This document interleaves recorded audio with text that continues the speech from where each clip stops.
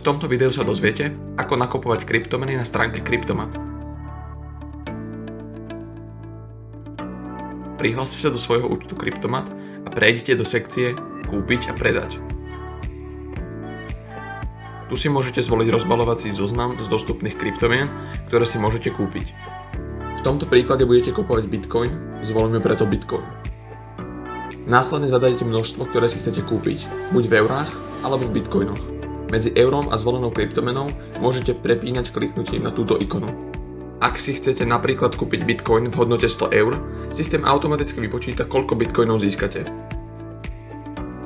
Keď budete pripravení pokračovať, kliknite na Zobraziť ukážku transakcie.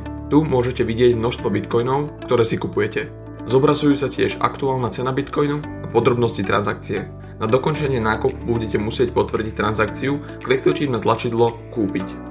Táto akcia je konečná a nedá sa vrátiť späť. Na pokračovanie kliknite na Kúpiť BTC. Na dokončenie nákupu bude teraz systém chvíľu potrebovať. Kliknite na tlačidlo Rozumiem. Stránka sa obnoví a na pravej strane obrazovky sa zobrazí transakcia, ktorá bola práve uskutočnená. Kliknutím na transakciu zobrazíte jej podrobnosti.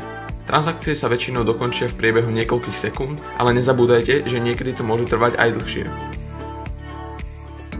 A to je celé. Úspešne ste si zakúpili Bitcoin.